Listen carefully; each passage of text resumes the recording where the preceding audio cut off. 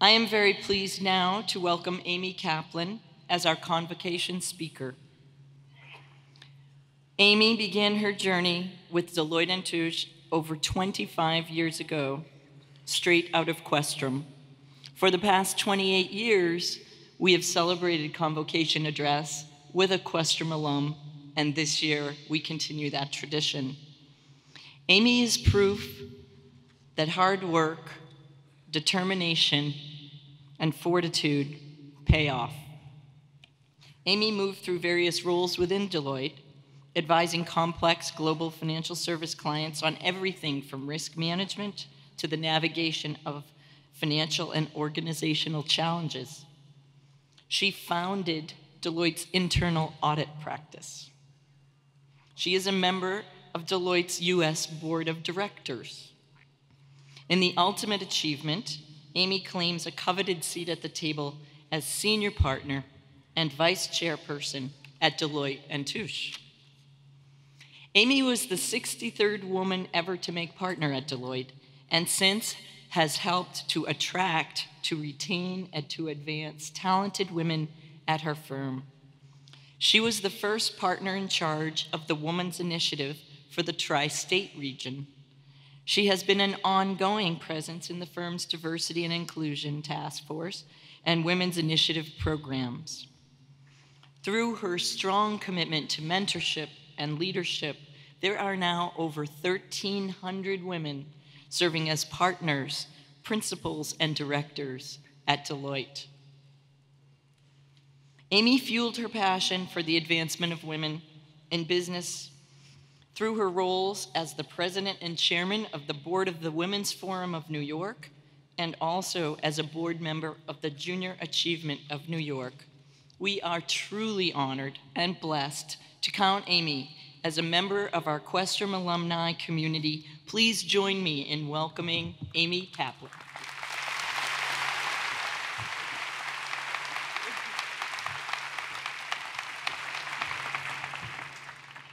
Wow, this is really impressive. It's an absolute honor and privilege to stand before you and share this important day, and there is nowhere I'd rather be than here today with you. Congratulations to President Brown and Dean Fournier and the Board of Trustees, the, all of the esteemed prof professors and staff that have helped to nurture and counsel and coach and sponsor you, and now will graduate this outstanding class. Let me begin with the punchline, which is that you will unequivocally, having a degree from Boston University's Questrom School of Business, have unlimited opportunities. This is just not another degree. This is an extraordinary degree, and each and every one of you should feel very proud of yourselves. Congratulations to all the mothers and fathers while they were trying to escape you. I tell you, they really appreciate you grandparents, aunts, uncles, siblings, friends, and significant others who have provided boundless emotional and financial support, and I'll even put into that category all your support pets. The texts, the calls, the care packages, the visits, and the endless coaching has paid off.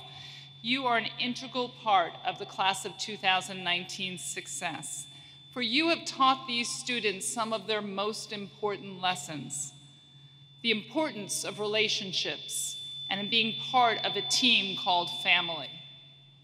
To do the right thing, even when it's hard, especially when it's hard. And to dream big, set goals, and work relentlessly to achieve them.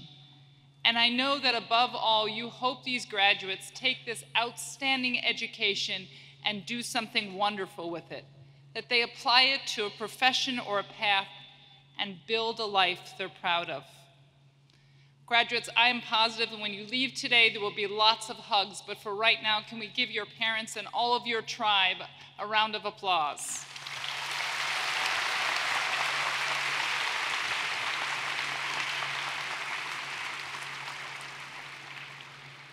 Class of 2019, today is really all about you. This room is filled with love and pride in you and what you've accomplished. It's palpable. I can feel it.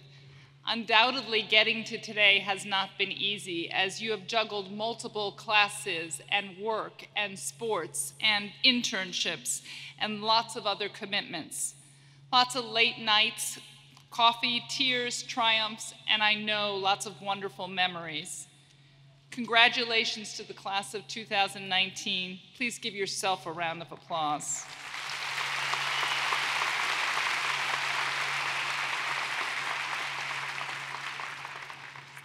I am sincerely and truly humbled by the talent in this room and the potential for each of you to do amazing things.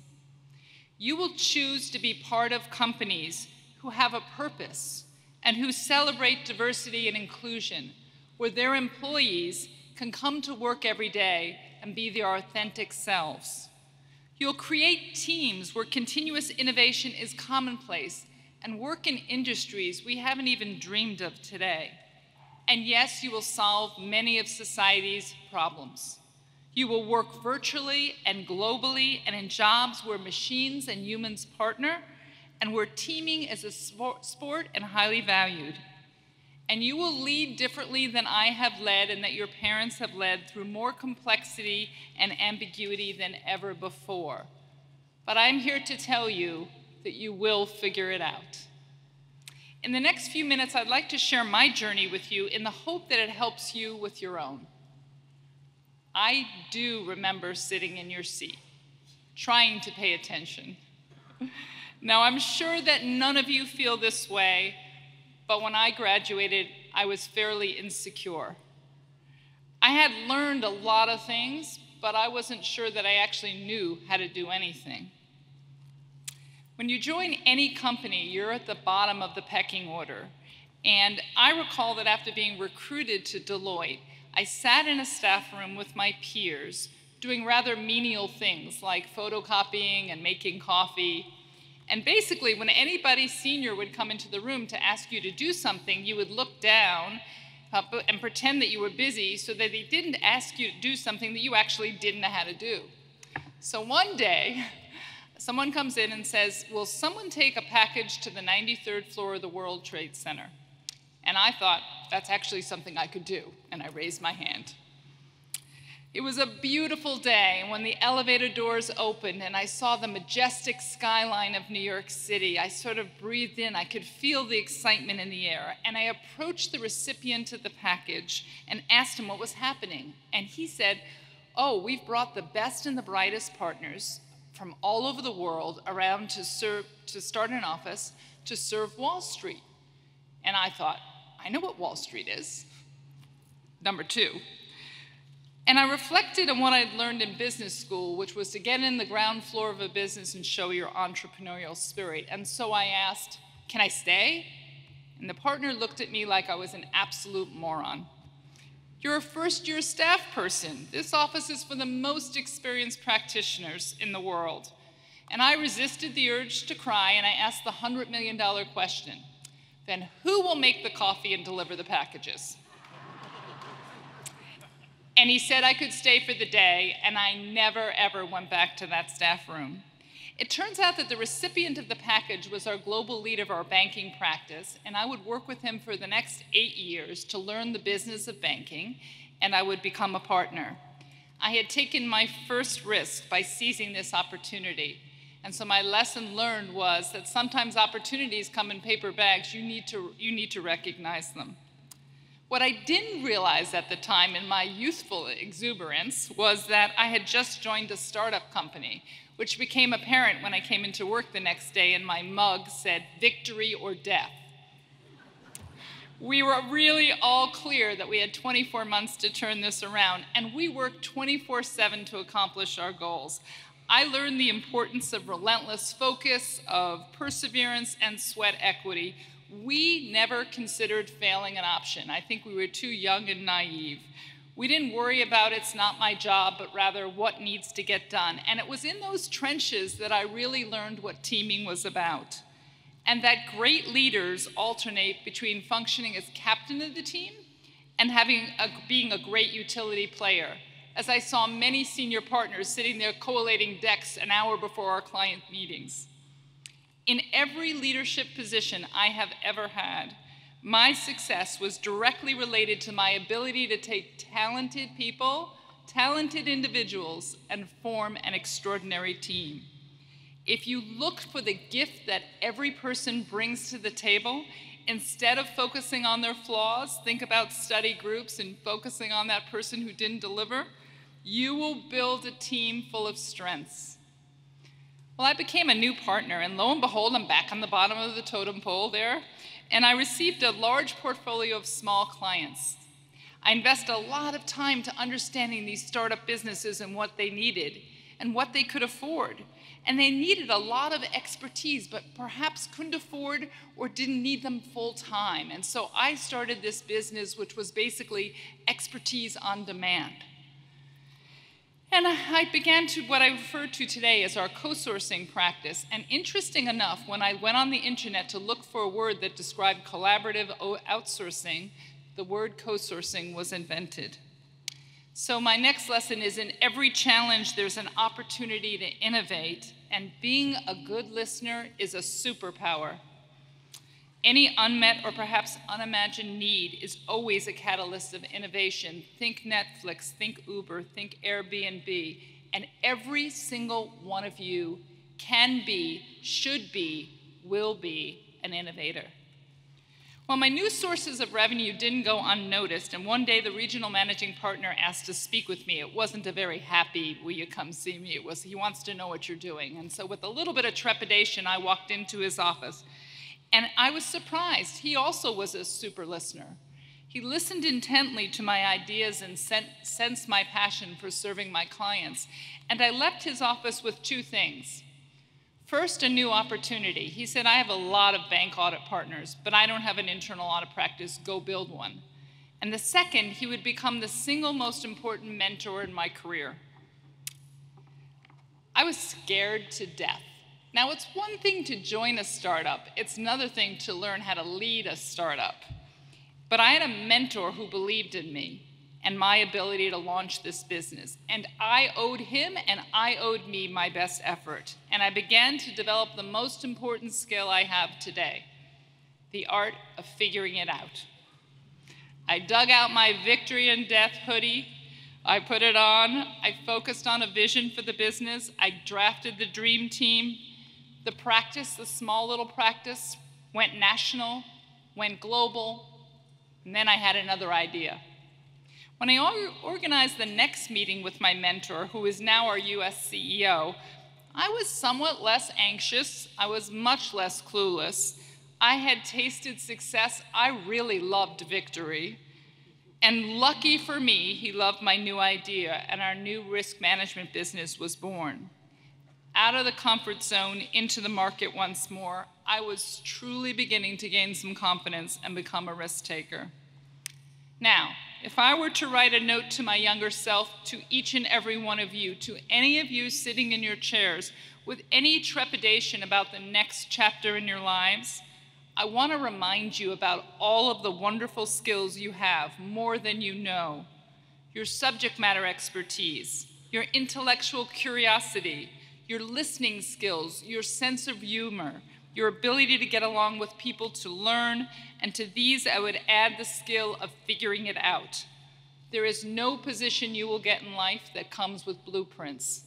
And I promise you that all the last four years has, in order for you to graduate from Questrom, you have figured it out. And that is one of your best assets. Well, we have over 25 years to cover, so lucky for you, I'm not going to take you on a detailed journey. But suffice it to say that every two years, my mentor would tap me on the shoulder and provide me with an opportunity to reinvent myself. I want each and every one of you to be prepared to continually reinvent yourself. But a few things happened during this time. I was starting new businesses, but I was no longer alone because I had followership. Every friend that I developed in every position was looking out for me and ensuring that I succeed. I had my own personal cheering section. I want you to look around at your classmates, You have worked side by side with these friends and colleagues. You have helped each other, you have taught each other, and yes, occasionally relentlessly competed with each other. But sitting next to you is the future C suite. It's the investors, it's the inventors, it's the board members. Value these relationships, nurture them, keep in touch, and they will become one of your most important assets. Now, my mentor eventually became our global CEO, and I have been given many opportunities and taken many risks because I knew I had his support. But the one thing you have to know about all relationships, and especially mentor relationships, is you need to give in a relationship twice the amount you expect to receive. During my career at Deloitte, I have definitely grown personally and professionally into a confident senior partner and board member with a clear vision of what I love to do, what I'm good at, and what brings me joy, which brings me to my last recommendation. You are each the architect of your own life. That was an epiphany for me, and I'll tell you how I reached it. I made partner with a two year old and a newborn. And when I dreamed of the future, I thought I, at some point I would want a third child, but I wasn't sure exactly how I would keep all the balls in the air. I just thought I can't add one more thing. And a very wise partner reminded me that I was the architect of my own life. And that if you imagine your life like a house, with a room for family and work and faith and community and all of your personal interests that you like to do. It was my responsibility to have a vision for what the house looks like and to build a room for each of these aspects of my life, to renovate when necessary, but most importantly, to fill this house with as much joy and as many joyful experiences as I could fit. Our daughter was born five years later, and none of us could simply imagine life without her. You will continually be renovating your house to accommodate your changing needs. It's what you should be doing. Don't worry about not having a grand plan and how you'll do something 10 years down the line. Build a house, build a life that you always dreamed of having. Build a life that you're proud of. Give up the nonsense, volunteer for one less committee, find time to run the marathon, and finger paint with your children. It truly is what you'll remember. Let me end where I began, with total sincerity, knowing that a degree from Questrom means that you have, will have, unlimited opportunities. You're armed with a superior education, encouraged to take risks, and never stop learning. I am confident that I will continue to be humbled by all of your accomplishments, and I wish you much luck on your personal journeys. Thank you so much.